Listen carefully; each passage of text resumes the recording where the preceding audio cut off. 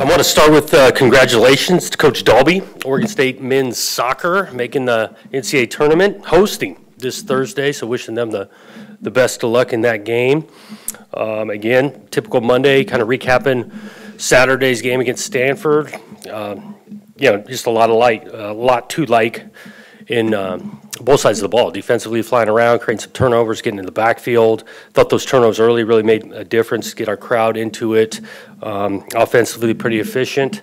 Um, In the run game, pass game, explosive plays.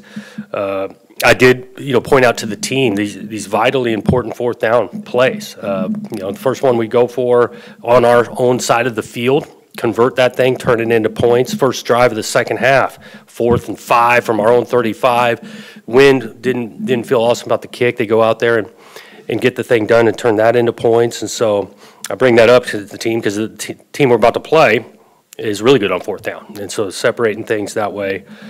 Um, You know, do want to kind of take this moment to be able to thank Beaver Nation season ticket holders, our crowd, our fans, the people who have been supporting us throughout this season, headed to our last home game, and uh, they've made a difference. Two, two years of sellouts, and uh, do, do count on this one being, being raucous and special, Aaron Reser with energy and, and the place being packed, because we're going to need everything we can get against this, this opponent. You know, Washington's playing the game at the highest level you can. Haven't lost yet, uh, really good on both sides, well coached. You know, Coach DeBoer's done a, a good job everywhere he's been, and his record speaks to it. One of the best quarterbacks in the country, throwing it to some of the best receivers in the country. And then on the defensive side, they got some athletes on the edge, make it physical. And so is a good football team, and uh, we're looking forward to, to the challenge. How fast is Damien Martinez? I mean, we know how fast Gould is and, and Irish. Where, where is he in, terms of just speed? Because we saw some of that last week. Yeah, he was, you know, he has some solid speed. Um, I, he's not the fastest guy on the team, um, but he's got solid enough speed to be able to break away and, and finish at the goal line. His, his confidence level, do you have any examples of how you're seeing that growing over the last several weeks? In Damien, Yeah. um, I think Damien does take a good disciplined approach of not just guessing out there. He's got reads when he hands, get him the ball, and he understands how we're blocking it. He's getting to the point, he's understanding defensively how they are fitting things. I do think his instincts took over a little bit last week on a couple cutback plays, and that might lead to showing that he's pretty confident.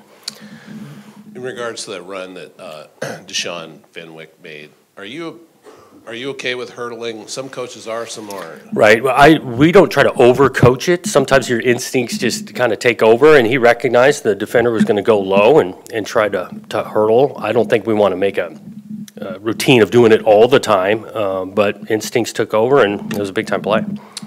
How do you, um, when it, in terms of measuring how a quarterback is doing uh, from an offensive efficiency standpoint, how do you measure? What, what's your, what are your things that you favor in terms of measuring how a guy's progressing? Well, the overall efficiency number is, is saying how efficient he is, and so, you know, the touchdown to interception ratio is something we, you know, take a lot of pride in and want a good number there. Limited mistakes, scoring points with only touchdowns.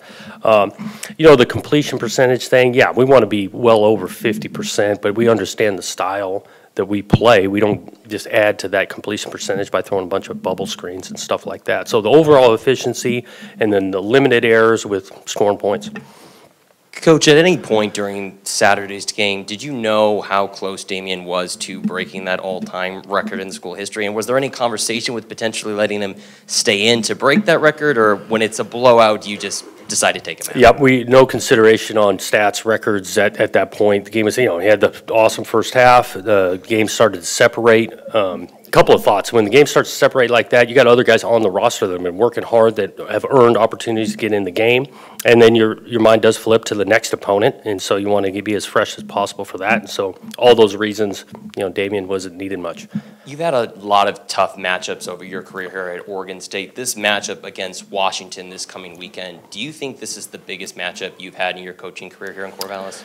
Well, I mean, I mean, yeah, kind of where the season stats or records are at and all that stuff, it makes it big. There's no question. Um, that, that's a good program that won a lot of games, playing late, you know, so whatever this is, game 11. So you want to play in the biggest games at the end of the year, and, and this, this is a big one. Washington's defense has looked at least a little bit more vulnerable over the last couple weeks compared to what they looked like in the beginning of the season. What are you seeing from them that you feel like you guys can take advantage of specifically here in Corvallis? Yeah, you know, everybody gets tape, right? And so there's some good coaches in this league, and they challenge, um, not just specific to Washington defense. Everybody in the league, we're seeing some new wrinkles each week, and so that that has take place. Some of the times these guys are scoring so quickly that that defense is on the field for a while, and so you're going to give up plays when that takes place. I know they run a sound scheme. I know that the line of scrimmage they're as good as anybody in this league, um, and they've won low-scoring games. They can win high-scoring games. As you prepare for Michael Penix, is there, what's different from last year? And what specifically does he does that hurts teams?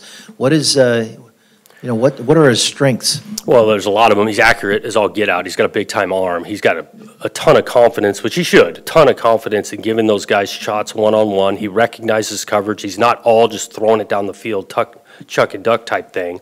The ability to avoid sacks. He's athletic enough, but he's definitely looking to throw. You're not going to fool him with pressure. The ball comes out of his hands, and so the you know he doesn't take sacks. Gives guys chances. Accurate. He stands in there when he needs to. That's why he's one of the best in the country. What did you learn during the 2016 season at Washington in terms of, you had a lot of big games. How did, how did you get the team, how did you get the team to calm down in these big, big type games? Uh, just reassuring them that they, their process on how they prepare week in and week out, and that hadn't changed since we got here to, to Corvallis. Um, yeah, it's a big kind, big time game, but you don't have to do anything out of the ordinary in regards to your preparation. All, a lot of these games come down to like, who doesn't screw it up? I mean, in regards to just doing what you're doing, being in the correct gap, running your route at the depth, you know, going through a progression, a lot of outside noise in big games, it still comes back to your focus and preparation.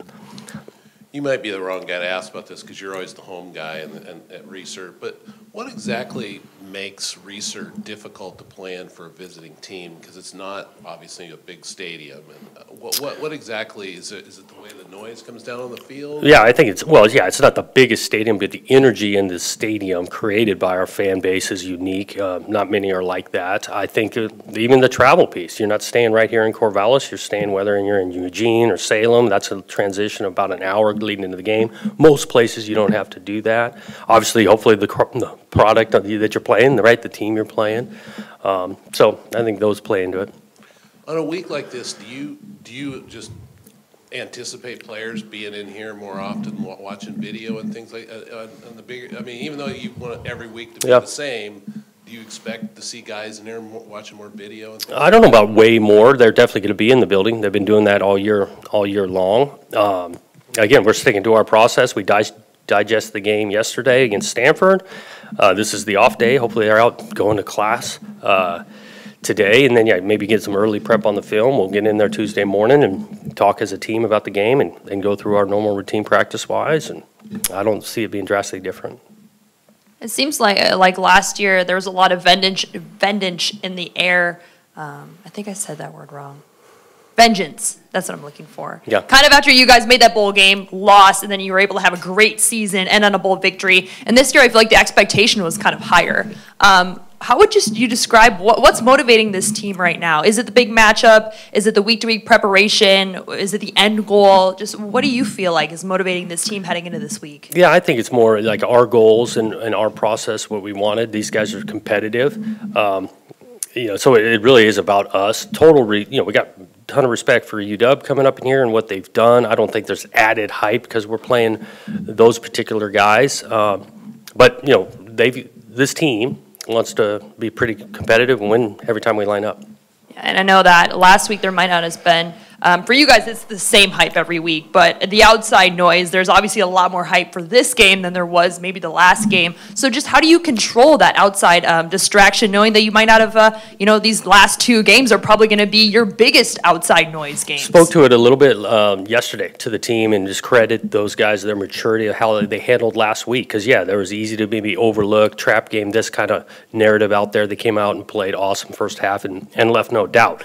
So fast forward to this week, counting on this maturity of this team to understand it's about their process going uh, throughout the week, getting ready, um, and that, that not changing. I know, just as a head coach, now that you're able to kind of put the Stanford game, you know, behind you, focus on, on this game, just as a head coach, like what matchup are you most excited to see? uh, to prepare for, then you know look forward to seeing if your guys execute on Saturday. Yeah, I mean, it could go a lot of ways here. I mean, you know, what they present offensively, and, and again, the challenge that is for our defense to fly around and, and try to slow it down. Uh, You're not going to completely stop them, but you can try to slow them down, and what that looks like, vice versa, offensively. You know, opportunity against a good defense, it's good up front. Well, we kind of, we think we're, we're solid up front too, in that, that matchup. Hey, Coach. So this Washington receiving team has threats at all the skill positions in the receiving room, running backs, tight ends. How, how do you really attack and approach when, you know, if you double up on the first guy, the second guy is going to take your head off? Yeah, it's hard because they, they got multiple options, and it's not just the receiver room. They got some big time wideouts, no question. But the tight ends catching a bunch of balls, the back out of the backfield, and they're starting to run the ball the last few weeks and being really effective doing that. And so, and then you throw it in with the, one of the best quarterbacks in the country. So it's tough to just focus in on one thing. You want to play well. We're going to have to play some matchups one on one and win those. Sometimes we're going to have uh, help some coverage, but we got to create some issues for the quarterback in the pocket, not letting this guy sit there forever. And so you need to mix and match the thing.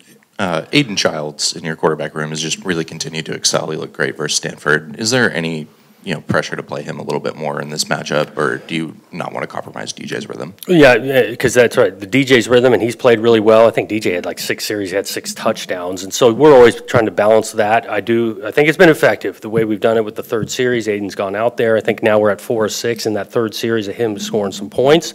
DJ's gotten back in there, and so that rhythm has worked well. Uh, turning the attention to the defense, what have you seen out of Chatfield so far this season? I mean, top five in sacks in the Pac-12 and interceptions as well too. How's he stepped up this season from last last year to this year? Yeah, he's uh, he's stepped up in a big way. Uh, he just shows up in the backfield, obviously not being in the right spots, but actually catching the ball on interceptions. Not always that easy, and it, it's a great story for him. I mean, he's been working hard and to, to you know, turn this season into the type of thing he's having. He earns a lot of that credit for the work ethic and, and getting put in the right positions. Uh, and in terms of injuries for this week, is there anybody new that we don't know about yet, or guys that are Right. kind of headed in this week? You know, I think big ones are be we'll see where Levingood is at the uh, the end of the week. We're optimistic, but you know that'll be an end of the week thing. I think we came out of it okay. We'll we'll kind of see Grant Stark who got dinged a little bit. That'll be something toward the end of the week to find out. I think Coop uh, came out okay. Um, yeah, those are the kind of headline pieces. Coach, what about Calvin Hart Jr.'s game this past Saturday? How physical he was? Yeah, productive, a bunch of tackles, being in the right spot. I think he's played back-to-back weeks, that his best ball since he's been here, which is, uh, which is really nice to see. You mentioned uh, Washington being able to run the ball, uh, 256 and 104 back-to-back for their back. So how good is that back and the- the ability now making them even more dangerous to hurt you both? Yeah, I mean, when you can be balanced multiple like that, you can't just focus on one side of it, uh, makes it really hard. I think their schematics are tough too. I mean, these, the guys aren't just lining up in the same formation and running the same place. I mean, they give you some pre-snap looks, they got some tempo to it, um, unbalanced, got motion that you got to keep your eyes right. And so all of that, when you mix in the run game, your eyes are wrong, those, those runs go for creases. Uh, yeah, they got a big-time receiver, quarterback thing, but you can't abandon stopping the run. Sheer arm strength on both sides in this one, from DJU to Michael Penix. I mean, are we talking Yeah. about pretty elite level arms this Saturday? Yeah, arm talent, strength. Um, yeah, I can even remember last year, Penix were up there and it's blowing pretty good wind wise. He's throwing that thing right through the wind, tight spirals. I mean, good player. And yeah, DJ's got a good arm and, he's, and DJ's playing at a high level too. Since uh, the game against Oregon and Washington has kind of had some close games, do you guys look at the consistency all of the team? Do you just look at the win? Do you simply just look at the film? Like, what does that say about kind of your opponent that you prepare for, but also your team's consistency throughout the past couple weeks? Yeah, I mean, we speak to these games are going to be tight. These games are going to go down to the fourth quarter. Give credit to UW. They've found ways to win in different ways this year, and so that's what really good teams do. Um, like I said, mentioned some games where they, yeah, they ain't lighting the scoreboard up on a couple. Most of them high scoring, and they're finding a way to finish. And so anticipating that this will be something similar come down to the fourth quarter in this one. Coach, you guys offensively probably had your best performance all season long last week against Stanford. Where is the team's offensive level confidence heading into this weekend's matchup, and do you think it's where it needs to be heading against Washington? I think you, yeah, anytime you, you come, you play well, it adds to your confidence. I think their confidence comes from their preparation and on how they worked, and then the plan put together and buying in and executing that thing. Each week is gonna be new, this is gonna be new scheme defensively, new players and all of that, and so they, they understand what they're capable of and, uh, confident that if they put in some work, they can put out a good performance. Coach, last thing, and, and that is the, all the talk about Washington's offense, that defense last week gave up 306 yards in the first half to Utah and then just shut them out in the second half. I mean, Yep. was, was it just game adjustments, played better in matchups? What did you see? Uh, I think you, you talk about a competitive group, however the first half goes, they can make some adjustments and then play for four quarters, give that staff some credit on the defensive side for, yeah, adjustments and emphasizing some things maybe they didn't in the first half. And to anybody in this league to shut them out for a, a full half, that's big-time defense.